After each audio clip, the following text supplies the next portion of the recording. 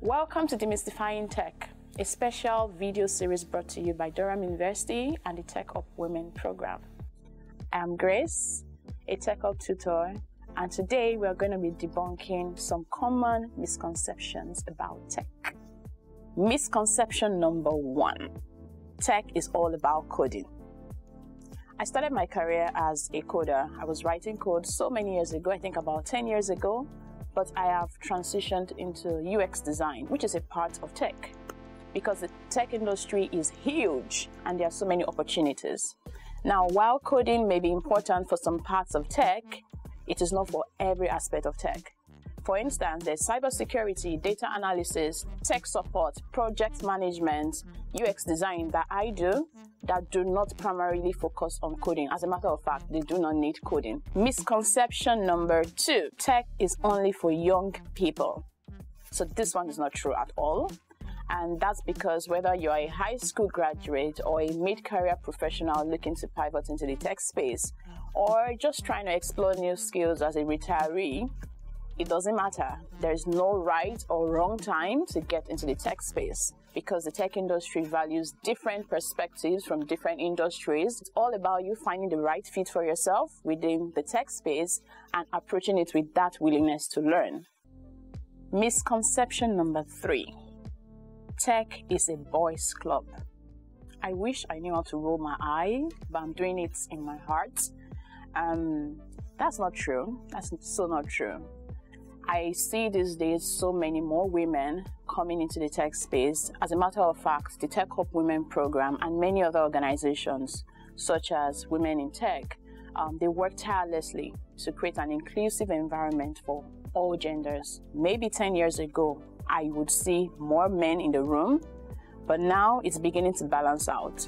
Myth number four you need to be a mathematician to work in tech. Hmm. I think this one follows up on being a coder that we mentioned earlier. But again, not true. Um, while, yeah, there may be some part of tech that you might need a mix of different skills, um, in reality, there are many parts of tech, so many that many people do not even know, um, that focus more on your creativity, on communication skills, on logical thinking, and so many other soft skills.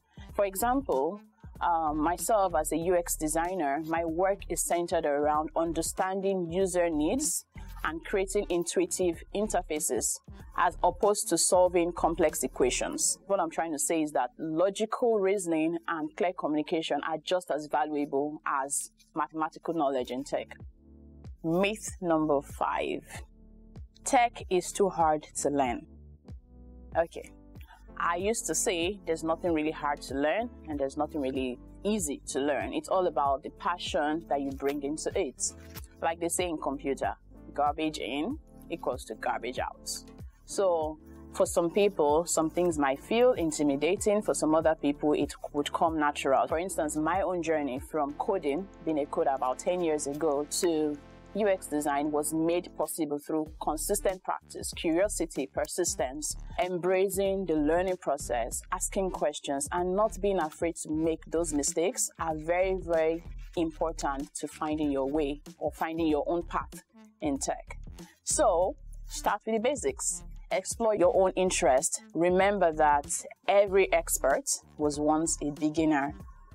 In conclusion, no matter your background, no matter your gender, you have a place in tech because tech is an ever evolving field. So if you're interested, there are many programs that you can use to get into the tech space, including the TechUP Women program.